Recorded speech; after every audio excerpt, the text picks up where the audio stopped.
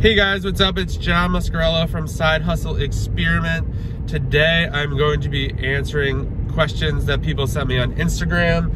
And the first question I got was how do you track your inventory on Amazon? Right now I currently have probably about 6,000 active listings of these are a lot of it's just individual books and I use the tracking spreadsheet that the book flipper created. Caleb Roth, he is a wizard when it comes to numbers.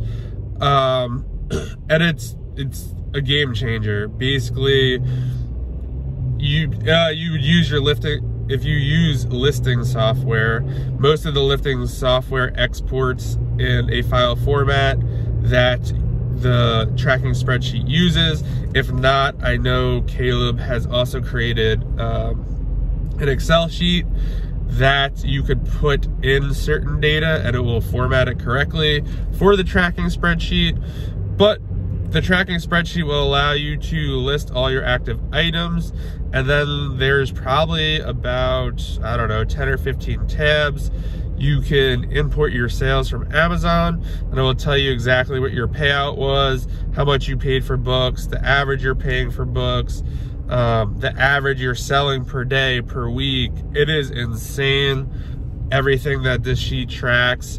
I think it's $199. I am not sure, but I will put a link to it down below.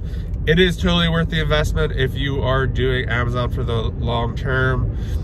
Or even if, I mean, even if you're not, I honestly think you need to know your numbers. So if you're giving it a try, you need to know your numbers. I would say you need to at least try for like six months to a year if you want to build anything sustainable. So the tracking spreadsheet will definitely help you do that. This is not a commercial for the tracking spreadsheet. It's just simply what I use. Caleb is a great guy. He, I consider him as a mentor. I've talked to him before. We've met in person a couple times.